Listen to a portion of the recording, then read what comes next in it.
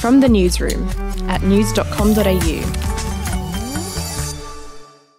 I'm Lexi Cartwright. And I'm Andrew Bucklow. And this is the latest from the newsroom. It's Tuesday, the 20th of April. Millions of Aussies could be vaccinated for COVID 19 sooner than originally planned as the nation's leaders consider bringing forward the vaccine timetable. National Cabinet met yesterday to discuss resetting the national rollout. One of the items state and territory leaders agreed to in principle was bringing forward the AstraZeneca vaccine for those aged 50 and over. The proposed changes are to be discussed at the next National Cabinet meeting on Thursday. Two other news food producers across the country have been dealt a crippling blow after Australia Post revealed it would no longer deliver perishables from July.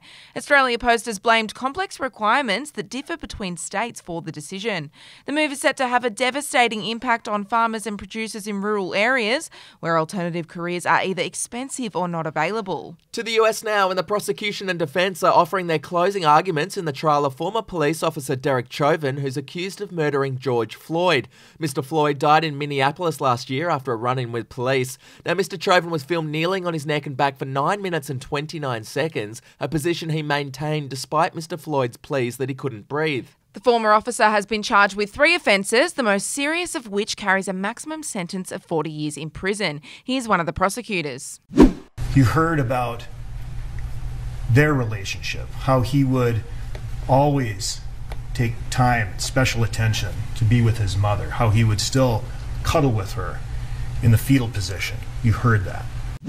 Alrighty, Channel 7 has announced which celebrities will appear on the second season of SAS Australia. Those on board include chef Manu Feildel, tennis star Mark Philippoussis, singer Pete Murray, and socialite Brynne Edelsten. Former NRL star Sam Burgess is also on the show. Now, he made headlines for all the wrong reasons yesterday. He's been hit with a fresh drug driving charge after being pulled over by police in February. Secondary saliva test results allegedly came back with a positive result for cocaine. Channel 7 won't be loving that. And finally, in royal news, and Prince Harry may extend his stay in the UK so he can be with the Queen on her 95th birthday tomorrow. Aww. He was expected to return to LA right after Prince Philip's funeral, but is still in London. It's been reported Harry had two hours of peace talks with Prince William and Prince Charles after the funeral. And just a reminder if you want $1,000, just play our daily news quiz at news.com.au forward slash quiz, and that cash could be yours. That's it from the newsroom. We'll be back in the afternoon.